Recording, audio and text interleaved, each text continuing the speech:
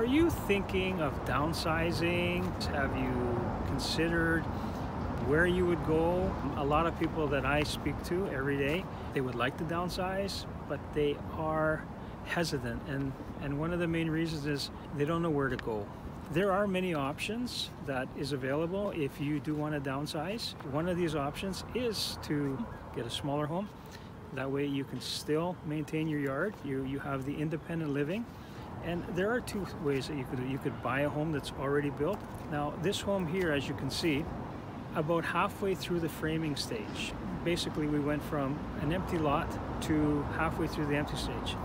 Do you know how long it would take before you can actually get the keys and live in this home? Tell me what you think. If downsizing is an option for you and you would like to get into a newer home, call me direct 778-879-8368. My name is Tom Ikonomou.